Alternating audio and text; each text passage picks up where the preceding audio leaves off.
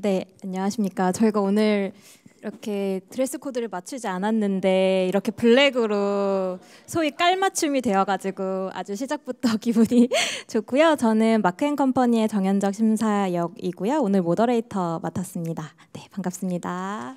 네. 어, 오늘 저희 주제가 어, 민간의 입장에서 바라본 지역의 강점과 약점 그리고 난상 토론이 컨셉인 만큼 여기 계신 패널분들이 허심탄회하게 솔직한 이야기 나눠주실 거고 플로어에서도 심플로우 통해서 좋은 질문과 의견 남겨주시면 감사하겠습니다. 그럼 저희 본격적인 이야기 시작하기에 앞서서 여기 세 분의 패널분들 자기소개 부탁드리겠습니다. 저에게서 제일 먼 순서부터 해주시기 바랍니다. 우리 오늘 패널의 이제 첫 번째 원칙이 2분 안에 모든 말을 한다라서 1분 안에 하도록 하겠습니다. 이건 아, 저는 현재는 디캠프라는 은행권 청년 창업 재단 디캠프의 대표를 맡고 있고 디캠프는 창업자들의 베이스 캠프, 창업자들이 원하는 걸 모든 걸 도와드리고 혁신 문화가 전파되도록 하는 게 저희 미션입니다. 아, 현재는 제가 맡을 때는 어, 저희가 이제 주로 창업 생태계 활성화, 뭐 디데이 office hour 이런 활동들을 많이 했는데 아, 제가 이제 임기 안에 하는 목 하고자 하는 목표가 뭔가 하면 사업 규모를 기존에 하던 것들 한 다섯 배 정도 확대하고 그다음에 지역과 글로벌 사업을 제대로 안착시키고 임기를 마치는 게 목표인데 아, 6개월 남았는데요. 한번 제대로 해보겠습니다. 네, 감사합니다. 다음으로 네, 국내 최대 스타트업 단체 어, 코리아 스타트업 포럼 대표 맡고 있는 최성진입니다. 오늘 지역 스타트업 아 예 감사합니다. 네. 지역 스타트업 생태계 서밋인데 뭐 이 저희 코리아 스타트업 포럼도 그렇고 저도 어, 여러 지역에서 다양한 활동하고 있고요. 어, 제주도에서는 공헌을 인정받아서 제주 명예도민으로 또 어, 예, 자격증을 가지고 있고요.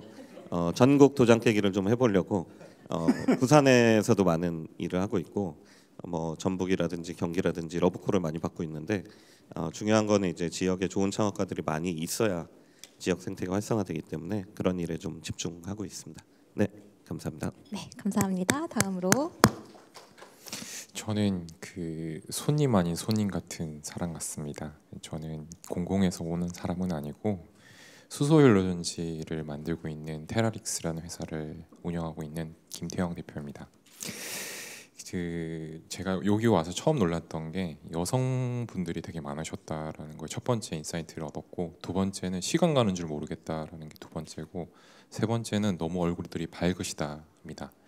근데 이 모든 것들이 결국 이제 10년 동안의 세월을 거쳐가면서 다들 이제 좋은 도자기가 되어가고 있다는 생각이 듭니다. 그래서 그게 백자이건 청자이건 어쨌든 간에 이 고유의 한국의 문화를 만들기 위해서 애써주셔서 너무 감사드리고 어, 저희는 전라북도 부안에 있습니다. 그 새만금 입구 쪽에 있는데 항상 저희 회사를 투자를 하시거나 방문하실 때 왜 부안에 계세요?라는 첫 번째 질문을 항상 받아요.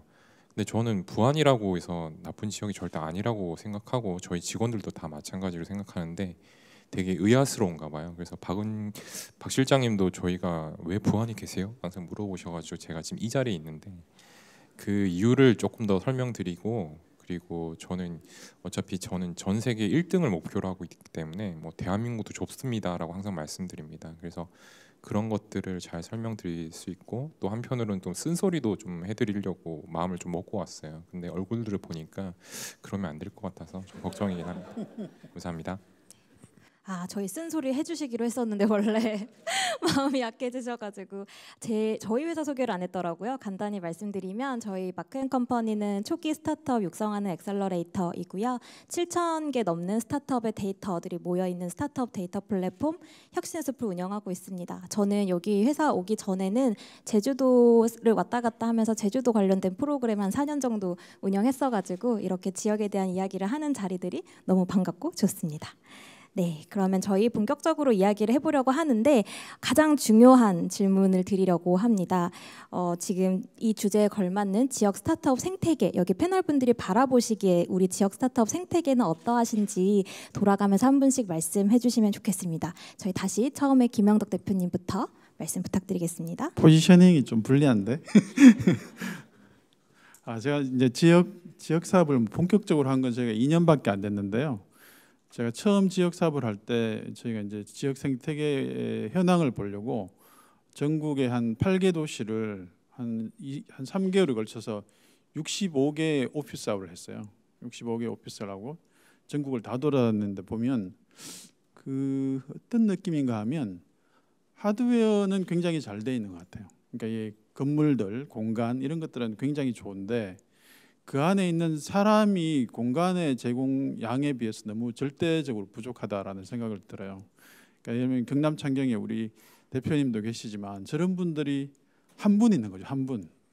굉장히 넓은 공간에 한분 있는 거죠. 한 분이 있고 그나마도 이제 몇 년 계시니까 이제 그나마 그 내에서 좀 활동들이 생기는데 그런 게 그걸 그 예외적이지 않아요. 거의 모든 곳이 이 지금 부산처럼 가장 활성화된 곳도 어 그런 사람의 부재라는 것들을 좀 느끼게 된다고요. 그러니까 사람이란 게 결국은 여기에 그 이 어떤 사람이 있냐에 따라서 서울에 있는 또는 어 외국에 있는 사람들이 자주 오게 되고 자주 오는 게 이 이 activity가 많아지면 연결들이 좋아지고 창업하는 사람들에게도 아, 나 굳이 서울 가지 않아도 굉장히 좋은 사람들을 만날 수 있네라는 이 좋은 환경이 제공되는데 그 그것들을 연결해 주는 지역에 있는 전문가가 부재한 게 현재 가장 근본적인 문제가 아닌가라는 생각들을 하게 됐습니다. 네, 감사합니다. 다음으로는 최성진 대표님 생각 어떠신지? 네, 어제 오늘 뭐 굉장히 많은 이야기 나눴는데요. 사실 어, 지역 스타트업 생태계와 뭐 서울 수도권 간의 격차는 뭐 설명드리지 않아도 될 것 같고요. 어, 90% 이상의 자원이 서울 수도권 몰려 있습니다. 어, 근데 이제 지역 스타트업 생태계가 왜 활성화돼야 되냐는 저는 딱 한 가지 키워드로 말씀드리는데요. 지역에서는 뭐 우리 지역이 잘 돼야 되니까 뭐 이런 말씀하시겠지만 저는 그런 거는 어, 큰 관심 없고요. 와, 물론 잘 돼야 되겠지만 네, 큰 관심 없고 저는 어, 다양성입니다. 다양성. 스타트업 생태계가 어, 혁신은 다양성에서 나온다 생각하고 어, 90% 이상 자원이 서울 수도권에 있는데 어, 실제 기술 창업 통계 보면은 여전히 어, 서울 수도권 아닌 데서 45%의 창업이 일어나고 있어요. 어, 지역에 창업가가 있습니다. 어, 지역에 창업가가 있기 때문에 어, 지역을 주목하는 거고 그 창업가들이 잘 성장하면 어, 우리 스타트업 생태계가 그만큼 어, 잘 커질 거라고 생각을 하는데요. 어, 근데 지역을 다녀보면 창업가가 없어요. 분명히 창업했다고 통계에 나오는데 어, 없어요. 그리고 저는 스타트업 생태계 구성 요소가 어, 사람, 자본, 기술, 시장, 그다음에 제5 원소가 커뮤니티라고 생각하는데요. 어, 저희가 돌아다녀 보면 어, 커뮤니티가 잘 되는 곳은 어, 사람이 모여가지고 어, 잘 됩니다. 저희 동남권에 어, 저희 그 회원사 2,100개인데요. 어, 동남권에만 300개가 있어요. 커뮤니티가 형성이 되니까 어, 이 지역의 창업가 그리고 이 지역을 떠난 창업가들도 어, 다 같이 모여서 어, 하고 있습니다. 그래서 부산시에서도 어, 저희 그 코스포 동남권 협의회를 어, 굉장히 중요하게 생각하세요. 어, 제가 내려오면 최소한 부시장님이 네, 어, 오셔야 되고 저희 박재우 의장님이 오시면 최소한 시장님이 오셔야 되는데 못 와서 미안하다. 뭐 이런 이제 그 프로토콜이 만들어져 있거든요. 그래서 이 창업가 커뮤니티가 저는 가장 중요하다 생각합니다. 저 추가적으로 한 가지 질문 드리고 싶은 게 그 창업가 커뮤니티를 만들고 안착시키는데 좀 어느 정도 걸리셨고 뭐 과정 어떠인지 간단히 말씀해 주실 수 있을까요?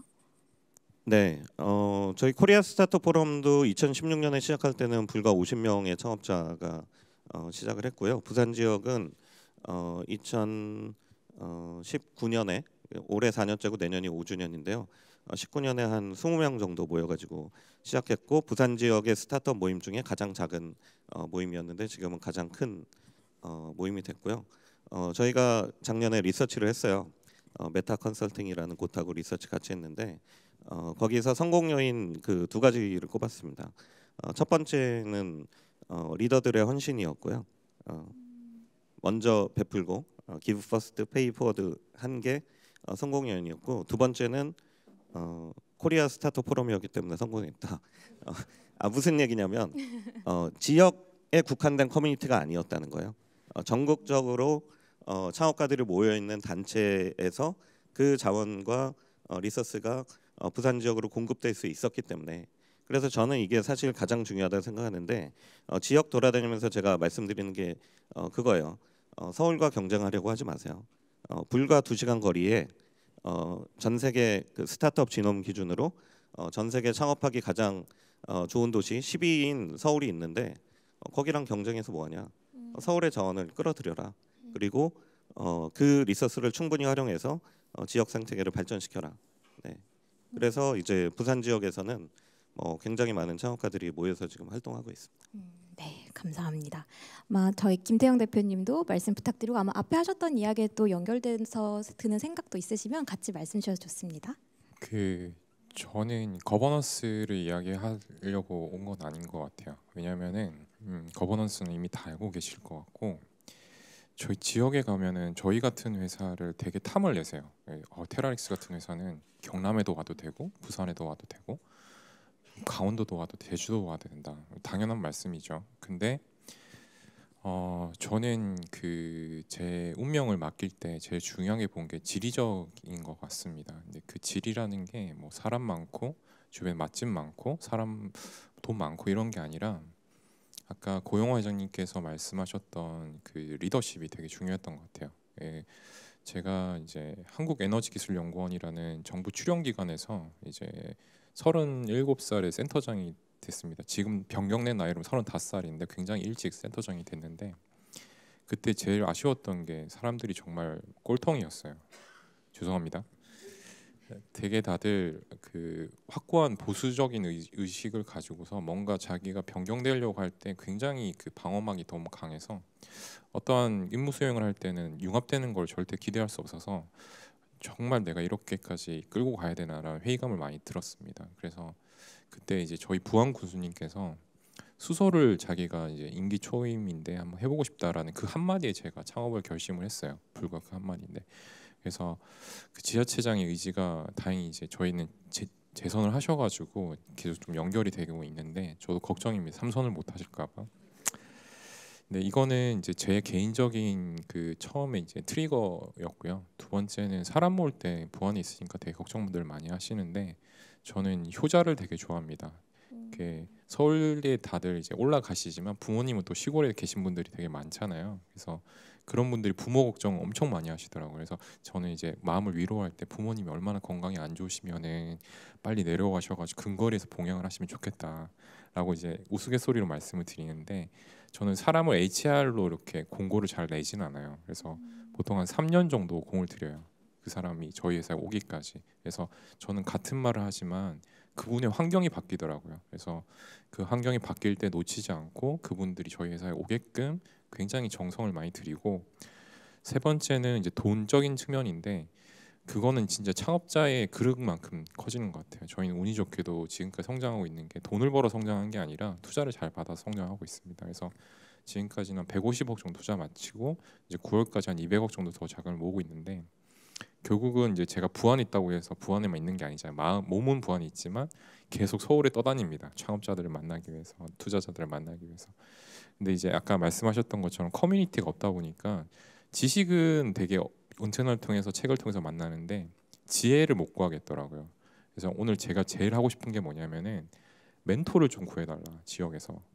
근데 그게 뭐 창조 혁신 경제 센터가 아니라 지자체장이 아니라 나보다 선배 기업이 1년 정도 나보다 먼저 했던 선배 기업들이 어떤 고통을 겪고 있는지를 좀 이야기해 달라. 그리고 저도 그런 고통을 겪고 있는데 그런 것들을 좀 어떻게 해결할 수 있는지 커뮤니티가 아니에요. 정확하게 말씀드리면 커뮤니티는 너무 불특정 장수들이 오기 때문에 그런 건 바라지도 않고 같은 업에 계신 분들이 정말 저의 멘토가 돼서 1대1 결혼이 되는 거죠. 그래서 그런 이야기들을 좀 나눌 수 있는 그 창조 경제에서 그런 좀 해주시면 정말 좋을 것 같고 지하체는 좀 힘들어요. 그 솔직히 업이 다 다르기 때문에 그래서 그런 역할만 잘 해주셔도 그 기업들이 그 지역에서 뿌리내는 데까지 굉장히 좋은 역할을 해주실 수 있다라고 저는 생각하거든요. 그게 무형적 자산이라고 저는 생각합니다. 감사합니다. 대표님 근데 말씀이 너무 느려가지고 제일 이분 제일 이분이 잘 안 지키죠. 제일 아니 그게 아니라 제일 나이 드신 분 같아가지고 제일 점잖고 근데 커뮤니티 얘기가 나왔으니까 말씀인데 이게 사실 커뮤니티라는 게 굉장히 추상적인 얘기잖아요. 이게 좀 우리가 손에 잡히는 뭔가로 이 뽑아내야 되는데 이 결국은 서울의 대부분의 이 인적 자원이 다 몰려 있죠. 전문가라는 사람들. 왜냐하면 그들은 거기가 가장 효율적인 공간이기 때문에 거기서 활동하게 돼 있어요. 그런데 그 사람들이 부산에 와야 되고 그 사람들이 전주나 광주에 가야 돼요. 근데 가려면 이 사람들이 필요한 걸 줘야 되거든요. 근데 그게 제공이 되고 있냐 하면 사실 뭐 시장님 한번 만나주고 이게 별로 중요하지 않아요. 그들이 한번 내려왔을 때 불편함이 있다니까요. 불편함이 뭐가 불편할 거냐에 대해서 제대로 조사해 본 적이 없잖아요. 그, 그 사람이 내려왔어요. 활동을 해야 돼. 창업자를 만나는데 돈 들이고 시간 들이고 공간이 필요하고 이런데 그들이 필요한 뭐, 뭐, 뭐에 대해서 제대로 조사도 안 하고 그걸 해결해 주려고 하지 않으니까 그게 그냥 어, 돈 몇 푼 주고 뭐 심사비 주면 오겠지라고 하는데 그들이 돈이 없나요? 돈 충분히 있어요. 돈 이미 벌어 있고. 근데 그들이 필요한 뭔가를 줘야 되는데 저는 그게 좀 한마디로 얘기하면 일종의 컨시어지 같은 거예요. 예를 부산시가 있으면 부산시에 그런 전문가의 그 가려운 데만 딱 긁어주는 일종의 총무 같은 컨시어지가 있으면 그 사람을 온다니까요. 당신이 오면 우리가 회의 공간 잡아주는 것부터 약속, 그다음 필요한 뭐 다과, 뭐 음료 다, 준, 다 준비해 줄 거야. 와서 회의만 하고 언제든지 편하게 활동하고 우리가 필요한 비서처럼 다 해줄게라고 하면 한다니까요.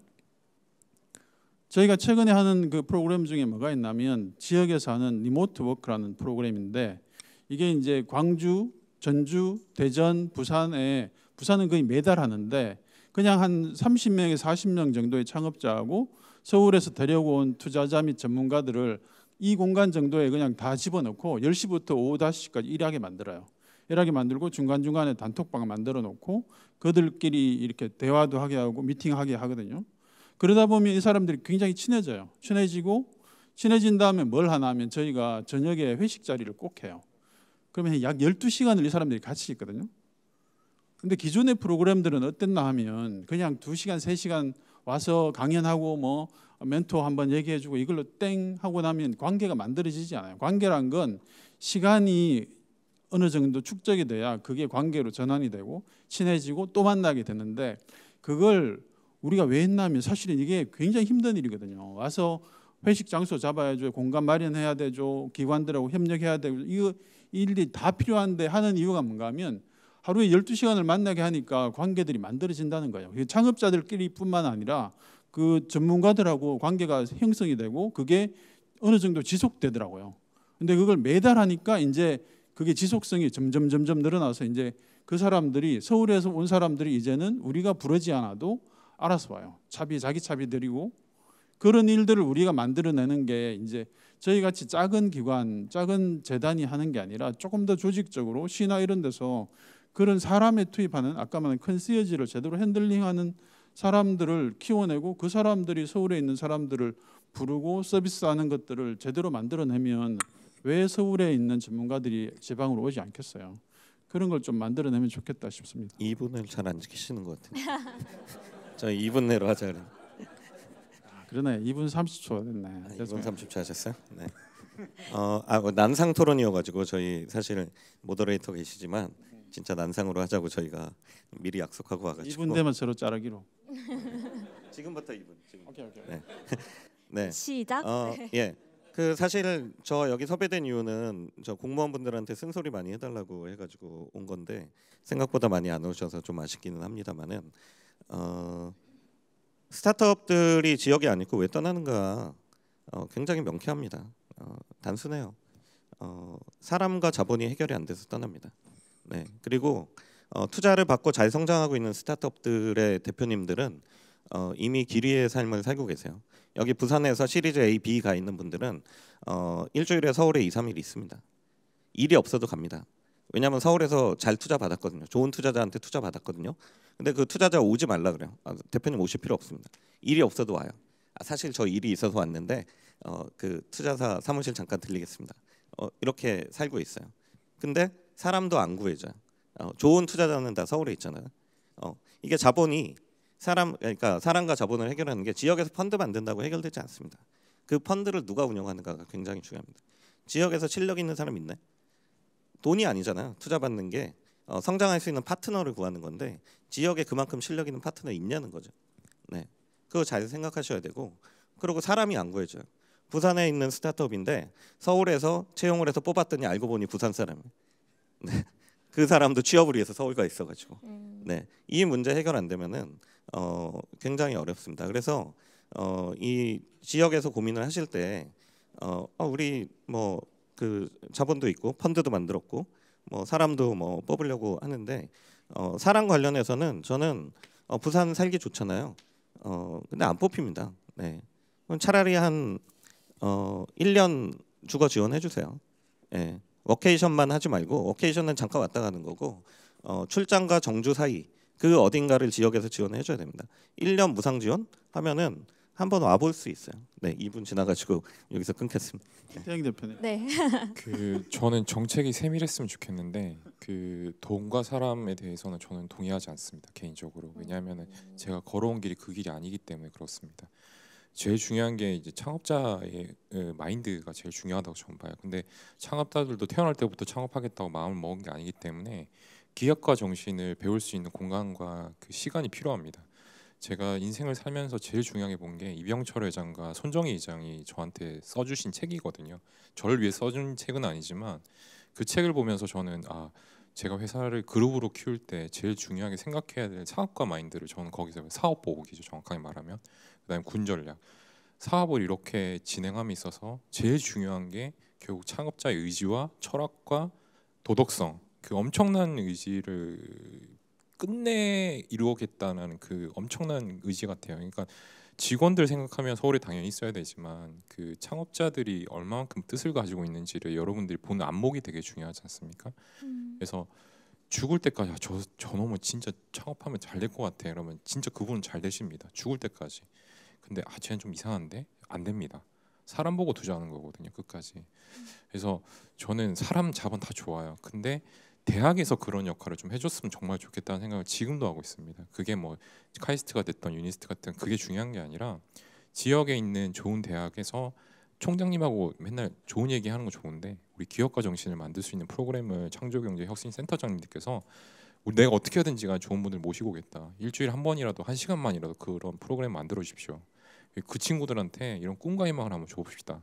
라고 누군가는 이야기해야 된다 봐요. 저는 그런 마인드가 그 친구들한테 어쨌든 동기부여가 돼야 됩니다. 그리고 그런 동기부여를 통해서 그분들이 또 좋은 책을 추천해 주실 거거든요. 이런 책 한번 읽어봐봐. 이런 책 읽어봐봐. 그럼 책을 통해서 이분 대 연결됩니다. 죄송합니다. 모더레이터 모더레이터가 너무 발언을 못하는 것 같아가지고 아, 아닙니다. 한 번 한 번 말씀하십시오. 모더레이터 1분 일본, 1분만 일본. 1분만 아, 저는 심플로우에 좀 연결되는 질문이 있어가지고. 제가 그 전에 한 마디만 하고 싶어요. 아, 네, 네, 하십시오. 30초만 우리가 30초. 뭐 난상으로 네, 하기로 네. 했기 때문에 지역에 있는데 우리가 그 지역에 있는 그 개발자 구하기 힘들고 직원 구하기 힘들다고 하잖아요. 직원이 어떤 사람인가에 대해서 좀 제대로 이게 이 사람의 사람의 근원적인 욕구에 대해서 한번 봐보면 좋을 것 같아요. 어, 단편적으로는 그들이 뭐 여기 주거 공간이 부족하니까 주거 지원하자. 아니 그들이 무슨 이게 시혜를 바라는 못 사는 사람들이 아니잖아요. 뛰어난 개발자이거나 이러면 돈이 부족하거나 그러진 않아요. 그러니까 그런 30대 전후에 이제 젊은 친구라고 보면 그들이 진짜 필요한 게 뭘까 지역에서 서울 왜 가냐 하면 서울 가면 재미있거든요. 재밌고 클럽도 있고 좋은 술집에 멋진 레스토랑 그다음 친구 만날 난- 만날 수 있고 강남역에 가면 진짜 멋진 친구들을 언제든지 만날 수 있는 그게 제공되잖아요. 그들이 사실은 어찌 보면 그냥 직장을 구해서 직장이 없어서 서울 가는 게 아니라 어떻게 보면 좀 더 그런 본 본질적인 욕구들이 사실은 훨씬 더 충족 가능하니까 이제 서울로 서울로 가는 거거든요. 근데 지역 생태계를 만들면서 그런 친구들이 놀 만한 공간이나 멋진 레스토랑을 고민하지 않잖아요. 멋진 펍이 이- 있으면 그들이 좋아할 거고 저녁에 만나서 미드하거나 할때 좋을 거잖아요. 근데 그걸 왜 안 만들지? 어. 그런 걸 안 만들어 놓고 젊은 친구들이 와서 일하라고 하면 일을 하겠냐고요. 나도 하기 싫은데 나도 나도 재미 그나마 부산은 좀 재미있는데 제주도 조금 있고 근데 딴 지역 가면 진짜 재미없어요. 재미가 있어야 가지 사람이 안 그런가요? 네. 네, 지금 저희 많은 이야기들 하고 있는데요. 사람이 중요하다 이런 얘기도 말씀 많이 하시는 것 같습니다. 그래서 살짝 말씀 주시긴 했는데 플로어 질문 하나 연결해서 네 답변 들어보도록 하겠습니다. 화면에 띄워주시나요? 네, 일단 정말 난상이라 보기 좋고 저 그래 저도 그냥 보기 좋게 이렇게 보고 있었는데 지금 쭉 말씀하시는 사람도 필요하고 이제 뭐 기업가 정신도 필요하고 한데 그런 부분들이 서울을 제외하고 그래도 잘 갖춰져 있거나 혹은 그 잠재력이 있는 지역이 있다면 어느 곳이 있을지 네. 대표님 김태형 대표님. 저는 대전이라고 봐요. 네. 대전이 카이스트를 중심으로 해서 창업자들 그 산업단지가 도심 지 안에 있고 차로 다 이동하면 30분. 그다음에 아까 그 되게 힘들어하신 김팡 대표님 말씀하셨던 근데 유성구청이 놀기에는 최적화된 도시거든요. 제가 대전에 출신이어서 그런가 모르겠는데 대전이 짱인 것 같습니다. 어, 대전에 계신 분들 박수 쳐주시네요. 네, 그리고 최성진 대표님은 좀 어느 지역을 꼽아보실 수 있으실까요? 사실 경제 규모하고 사실 그 비례해서 가는 경우가 많고요. 그러니까 부산이 그래도 예, 우리나라 제2의 도시이기 때문에 GDP도 가장 어, 그렇고 그래서 좀 음, 조건은 제일 좋다라고 생각하고 객관적인 조건은 어, 상대적으로 조건이 가장 열악한데 어, 조건에 비해서 잘하고 있는 데는 전 제주라고 생각하고 저 대전도 어, 포텐셜이 굉장히 크다. 어, 뭐? 창업학 아니, 그러니까 세계적인 혁신 도시 중에 세계적인 혁신 도시 어, 중에 어, 대학이 역할을 안 하는 도시가 없어요. 근데 우리나라는 대학이 역할을 안 합니다. 근데 거의 유일하게 대학이 역할을 하고 있는 도시가 어, 대전이기 때문에 뭐 그런 측면에서 이제 독특함이 있다라고 저는 대전, 제주, 부산 이렇게 생각했는데 앞에서 다 얘기해서 아 겹치시네. 하나만 얘기하자 하나만. 아 저는 근데 부산을 한 번 더 강조하고 싶어요. 부산이 뭐 여기 개최지이기도 한데 부산이 사실은 모델이 보면 네덜란드 가면 노테르담이라고 있잖아요. 노테르담이 한 인구 한 170만, 120만 정도 도시예요. 항구 도시고 어, 굉장히 물류 거점이고. 근데 거기가 보면 그 로테르담 역사 바로 앞에 CIC 이제 캠브리지 인큐베이팅 센터라고 거기 들어와 있어요. 아 역사 앞에 딱 만들어 놓으니까 이게 어, 굉장히 효율적이고 교통이 좋으니까 일단 어, 유럽 어디로 갈 때도 좋고 암스테, 암스테르담 가는데 당연히 좋고 어, 그래서 이제 너무 좋은데 부산도 그런 형태로 좀 만들면 되지 않을까? 이게 역을 좀 생각해야 되는 게 왜냐하면 그러니까 서울의 전문가들을 저희가 초빙해서 할 때 저희가 이제 부산에 디캠프 라운지가 있는데 거기 한 딱 30평짜리밖에 없거든요. 저는 그걸로 충분하다고 생각해요. 서울에 있는 친구들 데려와서 미팅 시키기가 거기가 제일 좋아요.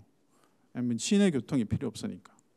그래서 부산 서울에서 와서 2시간 반이면 다른 왜냐면 서울에서 판교 갔다 오는 시간이나 별 차이 없어요. 올만하다니까요. 조금만 서비스 잘해주면. 그래서 그런 형태로 하면서 이 역을 거점으로 좀 서울의 자원들을 쉽게 액세스 가능하게 서울에 있는 전문가가 쉽게 올 수 있게 만드는 구조를 만들려면 역시 KTX 역사 바로 앞에 있으면 좋겠다. 도보로 가능한 공간에 그러면 서울 자원들이 굉장히 쉽게 액세스되고 그럼 굳이 서울에 본사를 두지 않아도 충분히 이 서울의 이점을 상당 부분 누릴 수 있지 않을까? 그리고 옆에 클럽이 하나 있으면 더더욱 좋다. 네, 역시 창업엔 놀기 좋은 것이 중요하다는 말씀 해 주신 것 같은데 그 최성진 대표님이 제주도 한 곳으로 꼽아 주셨어요. 대전은 카이스트가 있고 부산 같은 경우에는 이제 경제적이나 여러 인프라들이 갖춰져 있는데 제주 같은 경우는 그런 게 없음에도 불구하고 이제 잘 되고 있는 도시로 말씀을 주셔 가지고 그 이유가 있다면 알려 주시면 또 다른 지역에 계신 분들이 많이 벤치마크 insight 얻으실 수 있지 않을까 싶습니다. 음, 뭐 여러 가지 이유가 있겠지만 뭐 제주도의 공로를 취하고 싶지만 어, 가장 큰 이유는 어, 전 세계 혁신 도시 보면은 또 특징 중에 하나가 젊은이들이 살고 싶은 도시예요. 네. 근데 지금 꺾였지만 어, 제주도는 지난 20년간 인구가 20만이 늘었습니다. 네. 제주 도민이 아닌 사람들이 스타트업 창업가가 아니더라도 어, 20만 명이 제주에 살고 싶다고 가서 이주를 해서 살고 있어요. 어, 저는 그게 사실은 굉장히 어, 컸다고 보고요. 그, 그 어, 그거가 결정적이었다는 이야기가 아니라 어, 그런 요소를 가지고 어, 이제 디벨롭 해야 된다는 거죠. 저는 좀 오늘 자리에서 좀 건의드리고 싶은 게 이 자리에 그 학교 분들이 많이 오셨으면 좋겠어. 계속 학교 얘기 드리는데 총장님들이 그 벚꽃 피는 시기마다 학교가 없어진다 걱정 때문에 학교 통합, 그다음에 학생들 신입생 유치, 그다음에 뭐 취업 이것만 세 가지만 생각을 하잖아요. 절대 저는 그렇게 해서는 소멸을 못 막는다고 생각을 합니다. 그래서 같은 그 부총장급 이렇게 오셔가지고 이런 난 난상을 들어보셔야 돼요. 그래야지 아 내가 진짜 여태까지 이 세 가지를 잘못 생각하고 있다. 이- 이 창업이라는 키워드가 안 들어가 있어요. 전 전라북도 죄송합니다. 다른 지방 총장님이 안 바뀌시면은 제가 볼 때는 이 마중물 밑거름 걸음 같은 존재들을 할 수 있는 사람을 공급해주고 창업자들 길러낼 수 있는 것들이 안 생겨. 저 너무 정말 깜짝 놀랐어요. 학교가 없다. 이게 이 뭐지 이게? 결국 사람들 이야기하면서 사람을 키워내는 곳이랑 이야기하고 계신지 저는 의구심이 들어서 오늘 제가 쓴소리를 하고 싶은 그 주제와 딱 결합이 되는 것 같아요. 그래서 정말 그 창조경제 분들이 그 경쟁 상대로 인식하더라고요. 학교마다 요새 다 그런 창업 패키지를 하니까 너무 그렇게 하지 마시고 총장님이랑 꼭 한번 대화하셔가지고 우리도 이런 거 좀 해보자. 그래서 이런 스- 스월 같은 행사도 한번 와 보시라고 하시고 그럼 좋을 것 같습니다. 다음 수월 행사 때는 대학 총장님께서 한번 패널로 앉아보시면 아카데미 버전으로 한번. 네, 너무 좋을 것 같고 관련해서 혹시 두 분도 의견 있으시면은 더 보태셔도 주셨고 다른 말씀 해주셔도 좋습니다. 없으세요? 그럼 제가 짧게.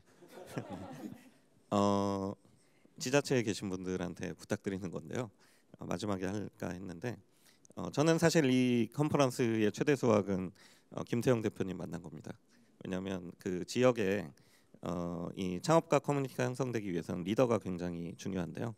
어, 그래서 저희가 지역에 관심을 갖고 활성화 시킬 때도 어, 누가 리더 역할을 할 수 있을까를, 있을까를 저는 굉장히 관심 있게 보는데 어, 이 지자체나 여기 계신 분들한테 부탁드리는 거는 어, 이런 뛰어난 창업가가 있는 거는 굉장히 우리 지역의 어, 그 축복이잖아요. 괴롭히지 마세요. 네, 그러니까 괴롭힌다는 게 뭐냐면 잘해주세요. 잘해주는데 어, 약간 그 가난한 집안의 맏아들 같은 개념이어가지고 제가 지역에 가보면은 그 지, 지자체 분들이 어 우리 지역에도 이렇게 훌륭한 스타트업 대표가 있어요. 모든 행사에 다 부릅니다. 그래서 어 근데 웬만하면 가려고 하세요 이분들이. 왜냐하면 그 음, 도와주려고 하는 거 다 알기 때문에 웬만하면 가려고 하시는데 어그 그, 그렇게 막 모든 행사에 다 불러대고. 최 대표님 말씀 듣다가 영감이 하나 떠올랐. 예 모든 그래가지고 그러다가 예를 들어 이제 서울로 가잖아요? 그러면 완전 배신자예요. 네 어이 우리가 어떻게 키웠는데. 어 근데 손흥민 같은 세계적인 선수가 나오면 우리 지역의 자랑 아닙니까? 이 지역 출신으로 해가지고 유니콘이 되고 글로벌 기업이 되면 어, 나중에 다 기여합니다. 그러니까 어, 애정으로 바, 바라보시고 어, 창업자들을 내가 키웠어 이렇게 생각하지 마세요. 예, 이 창업가들을 우리 지역에 감당할 수 없는 그릇으로 만드는 게 어, 여러분들의 역할이지. 시작했어요. 어, 고만고만한 창업자들 데려놓고 아, 우리가 다 키웠어. 뭐 이거 이거 아니거든요. 예, 영감. 네, 영감 영감. 네, 얘기할까요? 네. 아 저희가 하는 프로그램 중에 아주 그 사소한 게 있는데 저희가 이제 지역 학과 과정 프로그램이 있어요. 그러니까 지역에 지금 서울에 한 15개, 지역에 한 15개 정도 하는데 딴 게 아니라 그냥 학과 과정에 커리큘럼을 제공해 드려요. 아, 창업 관련해서 어, 수업을 하시고 싶으면 교수님한테 커리큘럼을 제공하고 어, 창업자들 연결해 드리고 하는 하는데 그리고 추가로 뭘 드리나 하면 정비용이 필요 없는 300만 원을 드려요. 마음, 마음대로 쓰셔라. 영수증 필요 없다. 그거 하나 하고 그다음에 최근에 저희가 시작한 게 지역에 창업 관련한 동아리가 있어요. 동아리에다가 똑같이 정빙이 필요 없는 뭐 50만 원, 100만 원 이렇게 모임할 때 필요한 그냥 돈을 드려요. 돈을 드리고 마음대로 쓰시고 어, 모임- 모임하고 필요하면 추가적인 지원하면 지원이 필요하면 또 말씀하시면 또 도와드릴게요. 이런 걸 하는데 그러다 보니까 이제 에, 자연스럽게 그런 창업 생태계나 문화들이 좀 전파되는데 효과가 있다라는 말씀을 드리고 싶고 그게 핵심은 뭔가 하면 정빙이 필요 없는 돈 이게 이게 핵심입니다. 네, 마지막 말씀 너무 중요합니다. 저 이제 준비되어 있는 시간이 거의 마무리가 되어 가는데요. 마지막 그 심플로 하나만 띄워주세요. 이게 여기 계신 분들의 마음을 다 대변하지 않나 싶습니다. 여기 계신 분들은 지역을 너무나 애정하고 지역에서 조금 더 잘해보려는 고민들을 갖고 모이신 분들일 것 같아서요. 이 세션의 마지막 질문은 어, 지역 창업 생태계에 지금 많은 노력을 하고 계시는 분들께 딱 한 가지 이 어, 어떤 부분들을 더 힘줘 주시면 좋겠다. 딱 한 가지 말씀해 주시면서 응원의 말씀도 같이 해 주시면 좋겠습니다. 이번에는 최성진 대표님부터. 네. 네, 여기 그 대구 말씀하셨는데 그 대구 굉장히 관심 많고요. 어, 모임도 한두 번 했었어요. 근데 이제 어, 어떻게 develop 할지 좀 계속 고민 중이고 어 근데 제가 아까 전국 도장 깨기 중이라고 말씀드렸잖아요. 어, 모든 지역에 관심 있습니다. 거기 창업가만 있다면 그래서 어, 언제든지 연락 주시고 저희도 진짜 어, 모든 지역에 애정을 갖고 어, 창업가 커뮤니티 키워보겠습니다. 감사합니다. 네, 감사합니다. 다음으로 김영덕 대표님. 그 창업가만의 커뮤니티만으로는 충분하지 않고요. 창업가와 전문가와 서울에 있는 전문가들이 항상 어울려 놀 수 있는 이 그런 게 활성화돼야 되는데 그것의 핵심은 뭔가 하면 지역에 그거를 계속 케어하는 총무 같은 사람이 한 명 있어야 된다. 그러니까 그걸 지역에서 적극적으로 키우고 뭐 필요하면 저희가 증빙이 필요 없는 어, 어, 돈도 드릴 테니까 그런 분들은 같이 한번 키워 보시면 좋겠습니다. 네, 감사합니다. 마지막으로 그 응원이 중요한 것 같아요. 회사는 우여곡절이 있잖아요. 좋고 나쁨이 있는데 좋고 나쁠 때 좋을 때 칭찬하는 건 아무나 다 할 수 있죠. 근데 안 될 때 위로의 말보다는 잘하고 있으니까 괜찮아. 그 한마디면 될 것 같아요. 그래서 잘 될 때 누구나 아, 소개시켜 주는 건 다 하는데 안 될 때 여러분들이 찾아가서 힘들지 같이 한번 이야기해 볼까? 이렇게 따뜻하게 밀착으로 한번 케어해 주시면은 제가 볼 땐 그게 대구건 제주건 아무 상관없을 것 같아요. 감사합니다. 네, 저희 준비된 시간 거의 다 됐는데요. 오늘 사람이 중요하다는 이야기 많이 했던 것 같습니다. 여- 그 사람 안에는 뭐 저희 창업가분들, 뭐 공무원분들 외에도 저는 여기 계신 분들도 다 소중하고 귀하고 네 필요하신 분들이라고 생각되고요. 저희가 10년 뒤에도 이런 지역 스타트업 생태계에 대한 이야기를 할 때 어, 네, 또 뵐 수 있으면 좋겠고 심플로 저희 마지막 질문 하나만 띄워 주시겠습니까? 지금까지 난상 토론 2의 블랙핑크였습니다. 감사합니다.